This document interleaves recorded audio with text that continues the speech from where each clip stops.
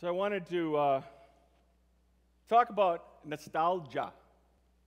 That's what the theme today uh, deals with. It deals with nostalgia, uh, really versus conservation, conserving what's best from the past and carrying it forward. But as is a good idea, let's figure out what these words mean, in particular, nostalgia.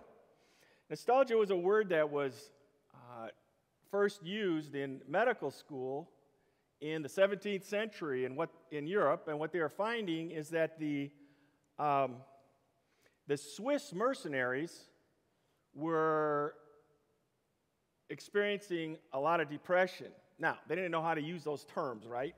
Okay. Um, like depression, they would call it melancholy back in the, you know, 400 years ago. But here's what's happening. See, the Swiss uh, provided mercenaries for France and, and, and for Spain, all those wars that are going on. The Swiss had like the really, uh, you know, kind of like the Rangers, the Green Berets, you know, the, the, the uh, special forces. They were amazing. And uh, so they would go and fight for other people.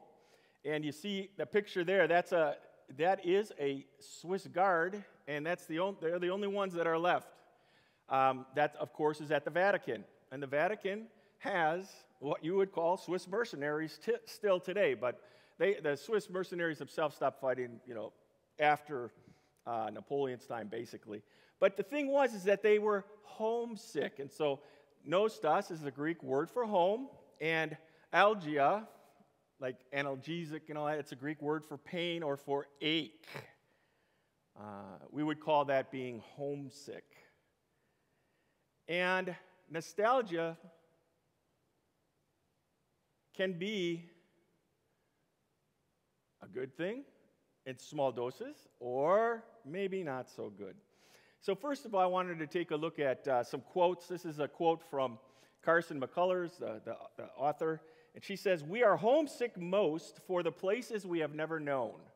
And as you know, as I've, as I've uh, explained before in, in my teaching on, on brain research, what we have as, quote, memories from our past those aren't those memories aren't very accurate. In fact, uh, the further away we get, the more that we're remembering something that didn't really happen.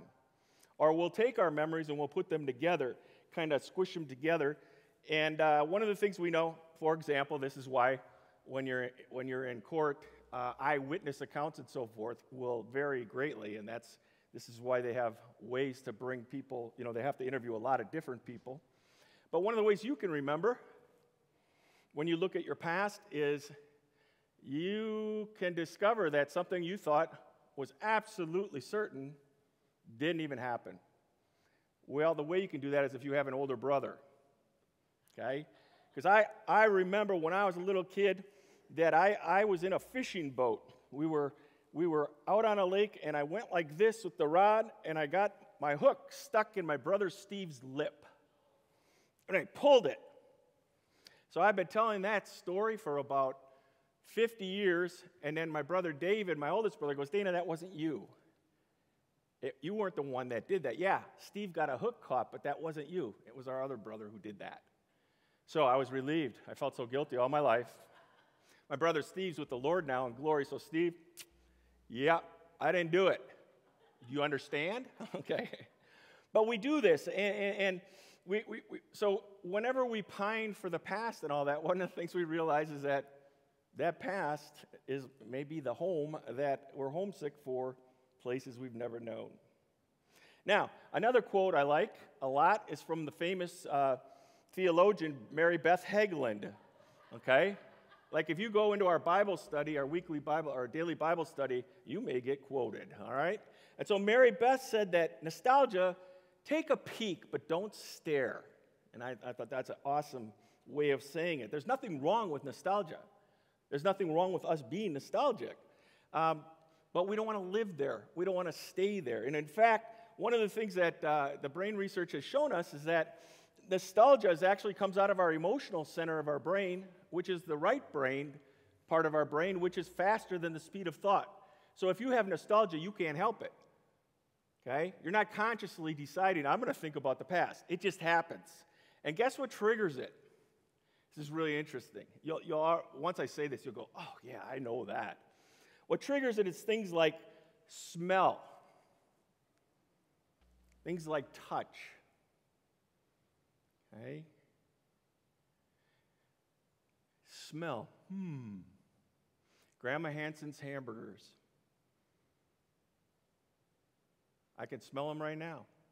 She invented the In N Out burger. They never paid her. Um, so, what she would do is she would take the hamburger, she'd press it hard, and she'd put a lot of salt on it, you know, because you like stuff better if it's salty, like an In N Out burger. And then she would fry it on the stove and then use the buttered bun and then put that buttered bun on the grill as well. So, Grandma, you didn't become a billionaire and invented the In N Out burger. And those of you, I would imagine you all know what an In N Out burger is, right? That's what we, that's the hamburger we eat out here that's really, really good. I mean, I know like in other places like Texas so far, you got Whataburger, but like I've had a Whataburger and they're really good, actually, yeah. Or Culver's if you're from the Midwest, okay? So I'm going to be naming all these hamburgers now. Um, but yeah, I could just, uh, if, I, if, I, if I smell that burger, I think of grandma. Music. Music brings nostalgia instantly. For many of us, it's the music that we were listening to when we were coming of age. Isn't that interesting? So you'll hear a song, and generally that song may have a huge impact if it was like a song that, that you liked when you first started liking people, you know. Uh, you know, you first, you, you first started realizing, oh, there's a, there's a, a young lady. Woo. Yeah, okay. So we can call it the first love, you know, the love songs or whatever. But the other thing would be breakup songs. That's what you remember even more. I could, I could, I could tell you every, every time I hear one note, you know, if it was name that tune, if it's a breakup song, I'm on it. Boom.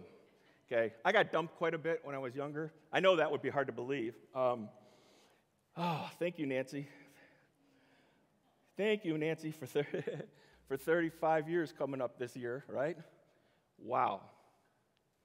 But anyway, so so that that happens to songs. And and one of the one of the funny things is uh, I played basketball when I was uh, you know when I was younger, and before ever, I was kind of like obsessive compulsive, I guess, because before every game I went through a ritual. Now the sports psychologists have you go through a ritual, so I was pre sports psychologist. But every game I'd go into the locker room before we'd go out on the court and I did, I washed my hands a certain way. I had hair in those days, and so I always made my hair totally wet and then combed it a certain way, and then I started singing Bet You By Golly Wow. It's a song by the Stylistics. I did that all the way through high school, all the way into college when I was playing college ball. I'm sitting there in the locker room going, Bet you by golly, wow, you're the one that I'm. And then it was fine in high school because, you know, in high school, generally, everybody knows but college, that was like, the other guys are going, don't.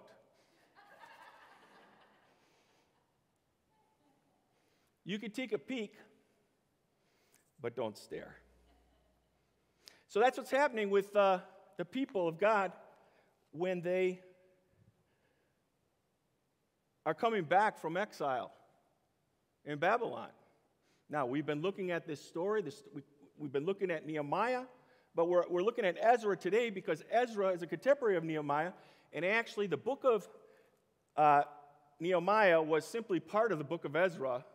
So, for the Hebrew Bible, you know, the Old Testament, um, it's only one book. It was split, it was split later by Christians when they, when they translated it. And so, Ezra, Nehemiah is really Ezra Nehemiah, okay? It's one book. And what happened is early on, Ezra is writing about what happens with the Jewish people when the Persians come in, and we've talked about this. King Cyrus the Great, he conquers the Babylonians. See, the Babylonians come in, they tore down King Solomon's temple in 586, completely destroying the center of the faith life for the Jewish people. And then they took the priests and the, and the leaders, kind of the best and the brightest, and they forced them into exile into Babylon. And so not only was their like country destroyed, their soul is destroyed, their faith and everything else. And yet there is hope. Because God works behind the scenes. He gets Cyrus to come in. The Persians conquer everything the Babylonians conquered and more, booted the Babylonians out, and then took the exiles, the Babylonian exiles, and said, You can go back. And so the Jewish people, they said, You, the priests, your Levites, you know, the ones that are in charge of the temple, you guys can go back. And there was actually three different times that people went back from exile back to Jerusalem. So the first time is in 539. And Cyrus didn't just say, You can go back. He said, Go back and rebuild your temple, and I'll pay for it. And that's exactly what they did. Now, Zerubbabel, there's a mouthful, he was the leader of the Jewish people at the time. And uh, so they started, they started uh, with the foundation of the temple. Okay, so let me, let me, let me read again. When the builders laid the foundation of the temple of the Lord, the priests, you can follow along with me, the priests stood in their apparel with trumpets, and the Levites, these are those who are the assistants in the temple, the sons of Asaph, with cymbals, with clashing drums, to praise the Lord according to the ordinance of David, king of Israel. And they sang responsively. That means they sing back and forth. Okay, it's like a call and shout type. It doesn't mean responsibly, it's responsively. Okay? So they, they sing back and forth and, and praising and giving thanks to God. And here's, we have a lyric. Here's a song they sang For he is good for his mercy endures forever towards Israel. Then all the people shouted with a great shout when they praised the Lord, because the foundation of the Lord, of the house of the Lord, was laid. Okay, so everything is going well, right? Then all of a sudden, we're hearing something besides praise. But many of the priests and Levites and heads of the fathers' houses, the old men, who had seen the first temple, Solomon's amazing temple, right? They still had a memory. The old men who had seen the first temple wept with a loud voice when the foundation of this temple was laid before their eyes. Yet many shouted aloud for joy, so that the people could not discern the noise of the shout of joy from the noise of the weeping of the people, for the people shouted with a loud shout, and the sound was heard far off. Oh, if we only had that temple. Oh, the good old days. We remember how glorious it was. And now the younger folks that are that are that they didn't, they didn't have to return they, from the exile they're there they didn't they didn't know solomon's temple at all so they're like whoa this is great. We're building this new temple for the lord. Well here's what happens. You see that? That's a uh, like a facsimile of solomon's temple. Man that's something else isn't it? That's amazing. In fact what this is like this is built on a hill in jerusalem and the temple, the, the, the, actual area where the high priest would go, the Holy of Holies, it was 20 stories high. And there was big, huge um, oil urns that were lit. So when you came to Jerusalem, even at night, you could see the temple because it was all lit up. Pretty amazing, huh? So that's what, that's the temple that the old timers remembered. It was probably even bigger, right? They remember when. Then, after the temple gets destroyed and the priests and the leaders get put into exile, and they come back, and Cyrus says, Rebuild it. That's what they rebuilt. That's the temple, what we call the second temple. Now, it still looks very cool, right? But it's small. In fact, it's only 10 stories high, not 20. And, and it just wasn't the same for the old timers to begin with, let's say, okay? So Ezra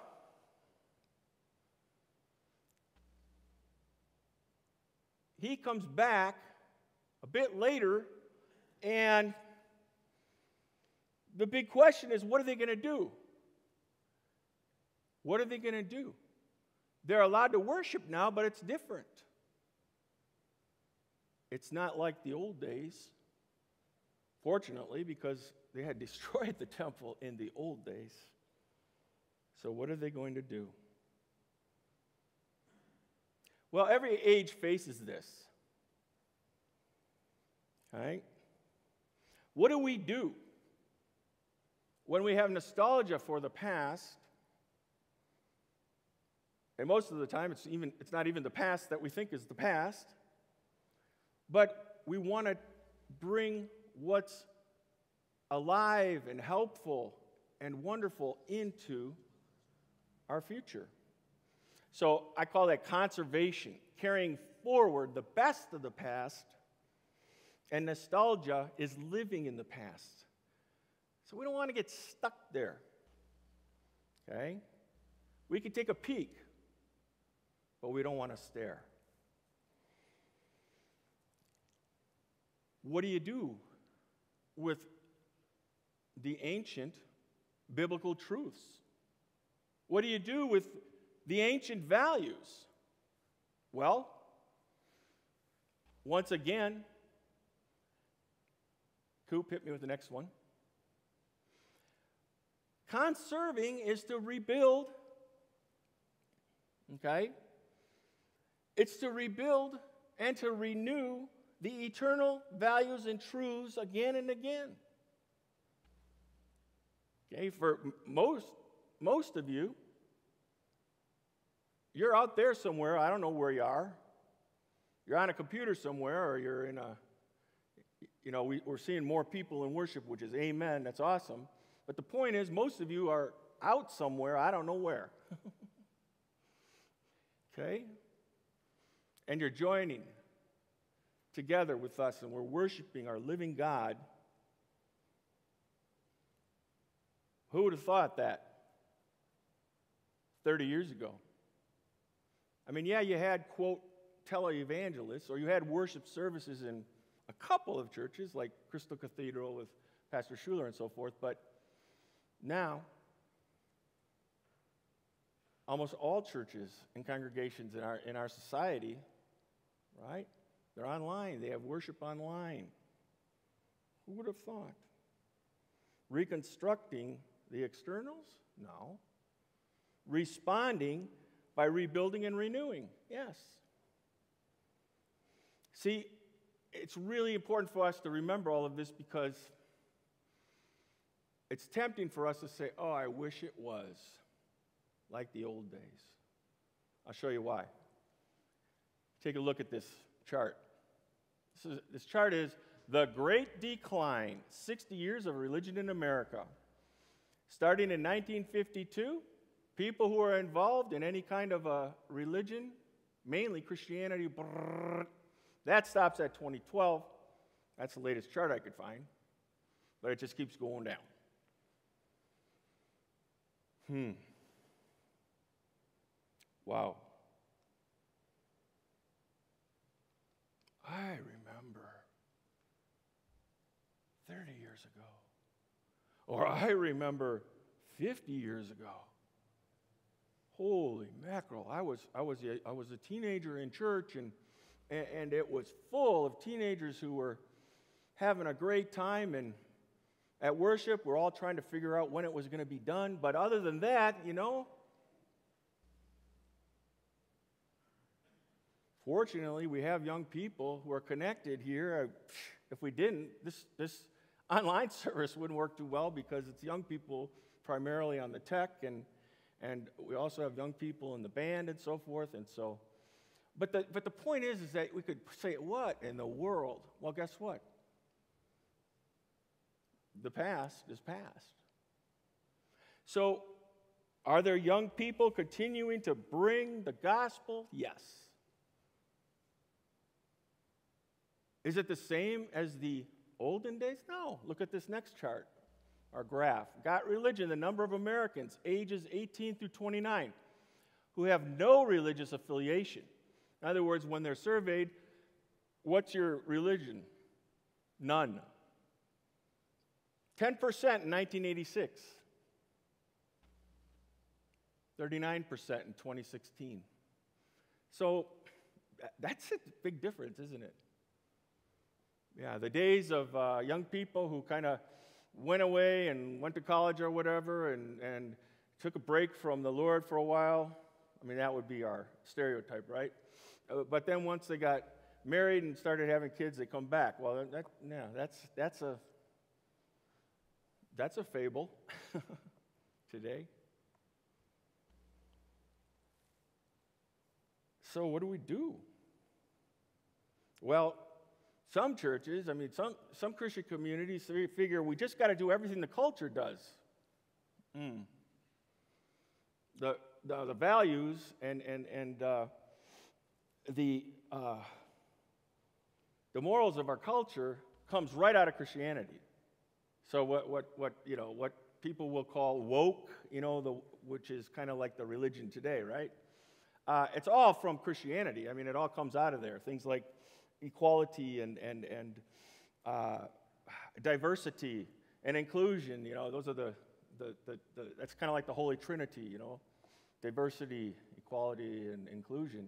Well, all of that comes right out of Christianity. Uh, it it's biblical. I mean, the Christians were the first who, uh, in the earliest time, they were the first to bring together people who were poor and rich men and women, they all were worshiping together in one, in one community. Yeah. It'd be a shock probably for a young person today to go, really? Yeah, that's, I mean, we kind of invented that. And inclusion we invented because there was no, uh, the, people weren't put on the outskirts. No, everybody was invited in to the table. In fact, the early church had if you want to have fun, just, just start reading Paul's uh, letters because they, they had to fight prejudice and they had to fight the, uh, you know, one group kind of looking down on the other group and everything, kind of like what, what we've been doing for 2,000 more years. But somehow they got through that in a strong way. So you can't really, you can't really say, well, let's just do whatever the culture does. You know, let's let our morality and our values come from what, what uh, you know, what the media tells us or what the entertainment industry tells us and all that. And it's like, yeah, we should do all of that. In other words, all those things that Jesus invented and the early church began doing, but do it in the way that Jesus invented in the early church went doing. It's not anything goes and, and uh, looking down on people who are different than you you know? Now, as human beings, we do that all the time. That's how we're wired. We're wired to, you know, notice patterns of, of differences, but it's the Christian church that made all the progress, and that's what we that's what we're living today, even if you don't even realize it. You just have to do some uh, historical analysis, you know. So that can't be it. See, because with Jesus, we have strong empathy. And so there's a lot of empathy, and that's amazingly important, right? To have empathy for other people, people who are in need, people who are hurting, which means everybody in one way or another, right? But also, Jesus, no scapegoating. Jesus, no stereotyping. We know that because the early church, in Scripture itself, Paul says there's no more Jew, Greek, male, female. No, no, no, no. We're all one in, in, in Christ. So, no stereotyping and no discrimination. Hmm. No. That's Jesus' way. So, we want to carry that all the way to glory. Because even the, the, the, the vision and the image of, of uh, the book of Revelation, when heaven and earth become one, is that Peter, people from all nations and all languages come together and worship the living Christ. So we just get a chance to preview that. Not tearing apart, not toxically trying to shame someone. Uh uh-uh, uh, that's not what Christians do. Okay? That's not our model of Jesus. It's not the biblical model at all. So the thing is, is that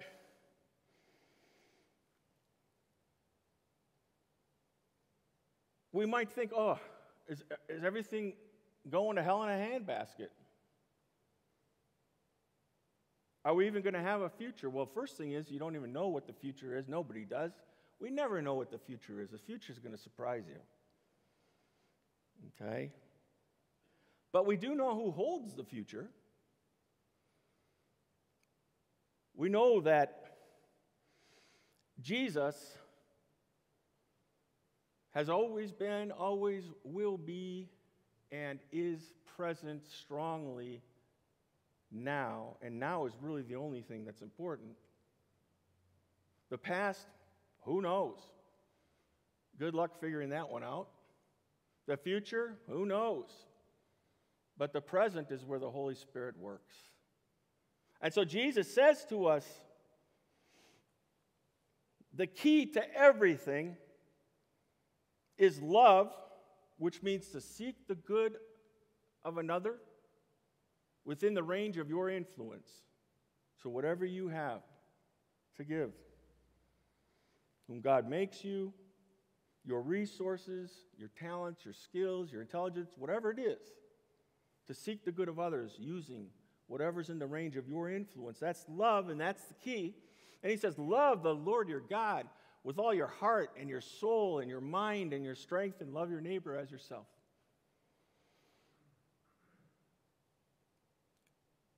Now, in society, they're discovering the same thing. Take a look at this. There's a, there's a book that I, that I, um, I haven't read the whole book. I, I listened to this author on a, a TED talk and, uh, and started reading what she had written online, and it's really good stuff. Her name is Emily Asfani, Asfa, Asfahani Smith. Emily Asfani Smith. And uh, forgive me, Emily, if uh, I didn't pronounce your middle name, you know, the middle name right. But here's, she wrote, she wrote a book that's called The Power of Meaning Crafting a Life That Matters. And she said that in order for us to be healthy, emotionally and mentally healthy, she works in, in, she works in a field called positive psychology. All right, so you can already see, I didn't know that was a field. Man, that positive psychology, I think we need some of that today, right? I think you all should be taking positive psychology courses out there. But she, she works in that field and she did this research and she found four things that provide the atmosphere, the, the, the fertile field, whatever, however you want to say it, for meaning. Because she said we need meaning in our lives. Without meaning, you know, she shows all these uh, studies done on depression and anxiety and all, that, and it's like, yeah. The biggest thing she, she declared, now she's not a Christian, uh, you know, writer or whatever, and, but the biggest thing she declared was what's missing is meaning for people. And then she, she, she broke it down into four things. First, belonging. Who are my people? Who am I connected with? Who looks out for me and I look out for them? Who seeks my good? And who whose good may I seek? Belonging, coming together in community.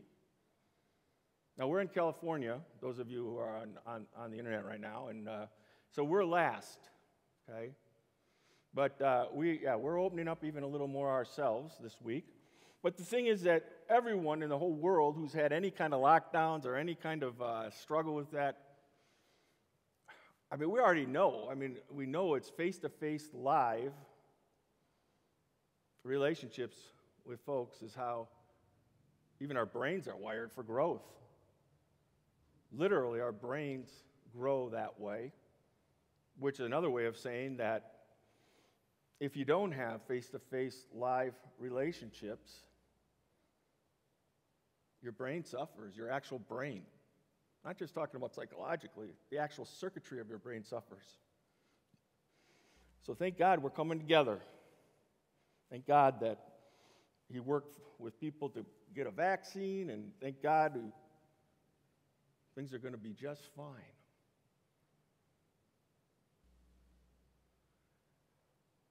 That's belonging. Who are my people? Purpose. She says you have to have a purpose in your life. Okay, what's your purpose? Well, your purpose is something that drives you, it's something that you aim for. And, and you hear me saying this repeatedly to aim high. Aim high and focus and move towards that. What's the highest? Same that I talked about last week. That is to bring light into darkness. We've got a world that's broken and hurting more than any time before, full of anxiety, full of fear, full of uncertainty. And you are the light of Jesus like never before. Purpose to spread the light of Christ and to share the love of Jesus, to seek the good of others with what you have. Then, third, transcendence. That was an interesting choice of word that she used. Transcendence means that there's something, someone beyond just who we are as human beings. Seeking that which is what we Christians would say it's God. okay? But seeking that. To realize that there's something greater than just me or something more amazing. Then she speaks of storytelling. And this is the one that I really focused on because I thought, this is so great. She talked about the way that we think of our own lives, the stories we tell ourselves, and how important it is for us to have a narrative of our own lives.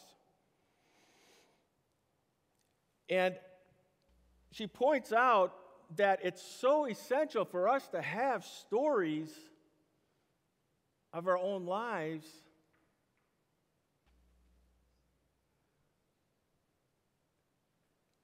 that are redeeming.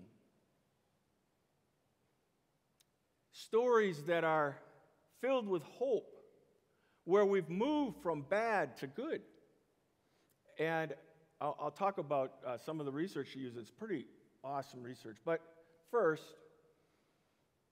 if we're telling ourselves stories of moving from good to bad, like, oh, I wish it was like the old days. I wish it was like the old days we just take a period in our life when things were really going well, and from then on, it's just been awful, one way or another. Well, I had to figure out um, like an example of this. So, Napoleon Dynamite, Uncle Rico.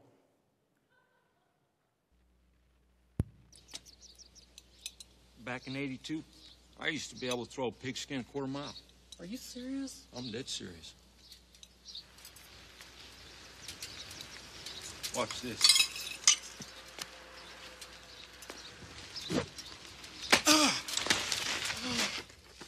What the heck are you doing? That's what I'm talking about. I better go.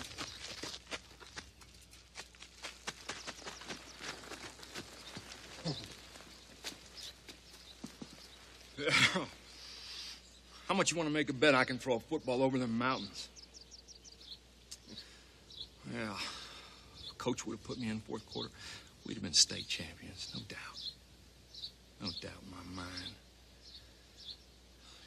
You believe things would have been different. I'd have gone pro. A heartbeat. I'd be making millions of dollars and living in a big old mansion somewhere. You know, soaking it up in a hot tub with my soulmate.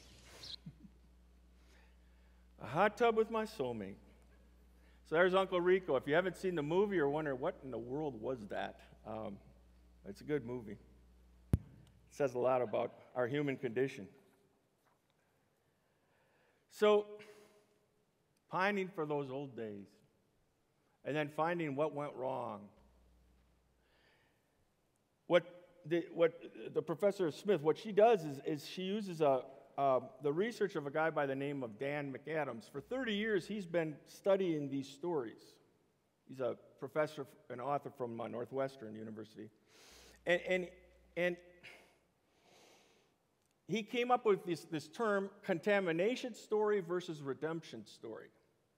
So, our, our past, the way that we tell our, the story of our lives, if, if we're moving from good to bad, how come it couldn't be like it used to be and all that? We contaminate ourselves. And, and that literally is true. I mean, because it's not only, it's, it's what, what you're thinking of. Scripture tells us that what's on our mind, what we're thinking of day to day, is what affects us spiritually and emotionally and even physically.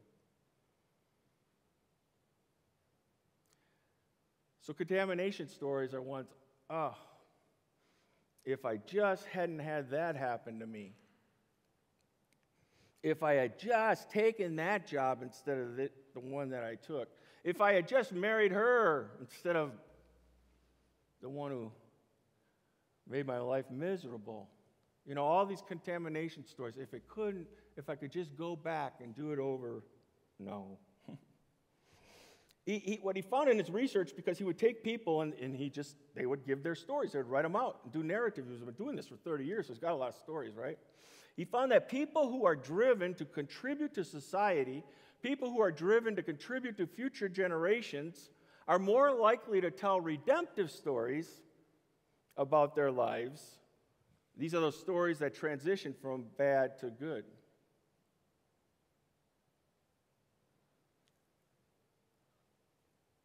as a Christian, that's always what we have. Because it doesn't matter what's happening around us, we know that Jesus is there, He's present, He's with us. That's why we could say, I know everything's going to be okay. Eventually. I don't necessarily know why, but I know God's there. He's always been there and he always will be there. And so,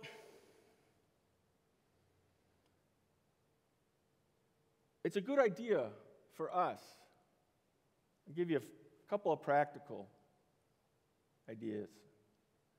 First, let me see the first one there, Cooper. Learn to reframe your story. You know what it means to reframe a story? It's to tell the story from a slightly different direction. Now, we all experienced the pandemic in one way or another. It, was it a disaster and isn't a disaster completely 100%? No. We reframe our story. We reframe it and realize that for some, I mean, people that I've, I've talked with, they said this is the best family time we've ever had and in particular those who have little kids or teenagers. Okay? I know there's, you know, that's not always, it wasn't always a great thing for people to be together, but it's that's the best time. I've never spent so much time with my kids doing things with them. Interesting.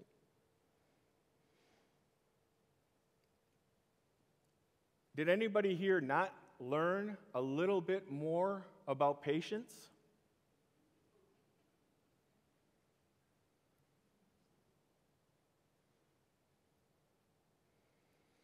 Now, for some of you, it's been the most amazing time of spiritual growth because you've been seeped in the scriptures and you've been you've had time to really focus on the Lord in many ways. I think about our own. Um, I mean, it's been a year now. This week, one year. Every day, Monday through Thursday, you got a, a good chunk of people in this congregation who have been digging deep in Scripture with me as a guide I never studied the Bible that much before in my whole life, so I would imagine that they haven't either, right? and the things that, that we discover from that God has in mind and the support that we give each other, but also just the, the, the insights. Where God speaks through your brother or your sister, it's just been, that's so valuable. I've experienced nothing that's even close to that in my almost 40 years of ministry. Amazing. And we're not stopping. I'm still going to do those Zoom studies because I learned to free, reframe and realize you can do stuff online with folks and, and, and it can be helpful. It just is not going to be your main uh, belonging together, you know, for that day and forever because, you know, we're, we're meant to be brothers and sisters live so we could see the sparkle in our eyes. We're glad to be with each other. And just a simple, a, a, a simple thing, not simple, but, you know, Lifehouse is, is a bit more of an influence in people's lives because of this worship, even. Just something as simple as that. You know, I was taking a look at uh, how many people click in. Now, that doesn't mean they go watch the whole worship service. You know, most people are listening to the band, and then when I get on, they hit pause and go eat or something, but it's okay. I, I could take it. I could take it. But uh, I, had to, I had to figure out a weekly average because um, somebody asked me that, you know, and it, it's 1,400 people connect every week on average this, this past year. 1,400 people. Now, I'm not saying they're watching the whole this and that, but it's pretty interesting. There are people that uh, I've, I've become acquainted with now, privately, who have been blessed and, and encouraged through our worship, through my messages, and so forth. And I'm able to communicate with them. I have no idea who they are. I mean, I do now, but they don't live here necessarily. People from all over, all over the country, even some in other countries. That never would have happened except for the pandemic. Isn't that interesting? So reframe the story. Second, make progress, not perfection. Boy, have we learned that, huh? Make progress. If things are going awful in your life, I mean, we, how much more awful, right? I mean, for the vast amount of people. I mean, we're each going to go through pandemics in our own lives, right? We're going to be sick and struggle and suffer and everything else. That's just part of our lives. But as a whole community, realize I just want to make progress in my life. I want to be encouraged by God more today than I was yesterday. So I open myself to Him more today than I did yesterday. And then I find out that gives me more patience and encouragement for others more today than I was yesterday. Then I've got another phrase. This is like, yeah, it's, it, it's kind of uh, personal. I know probably a billion people said this before, but I kind of heard, I haven't heard anybody say it to me. So I'm just saying that this is a, I put Dana Hanson on this one. Eternity is an awful long time to get things right. I, I didn't put awful because the word awful sometimes means bad, right? No, awful, full of awe. We have eternity to have for things to be right. Eternity is a long time. So, whatever you're struggling with right now, I pray that, that, that, that the Holy Spirit would enter in and, and, and lift you up to let you know that, that through Jesus and, and, and living in, in that kingdom with Him, Kingdom means his influence. Eternity is a long time to get things settled out. So don't give up. Just give in. Give in to Jesus. This Bible verse I want to end with is, is uh, it says it right there. I mean, Christ said this. Do not fear, little flock. For it is your Father's good pleasure. It pleases God. It's His good pleasure to give you the kingdom, to give you His power, His influence for good, which is centered on love. As we receive that love, where God seeks our good with what's in the range of His influence, which means everything, right? He says, Don't fear. I'm there with you and I will get you through anything. And this is what God leaves in the morning when we get up, during the day, and in the evening when we lay. He, he leaves the same exact thing. He says, Have no fear. My pleasure to give you my kingdom, to give you my influence for good in your life. Amen.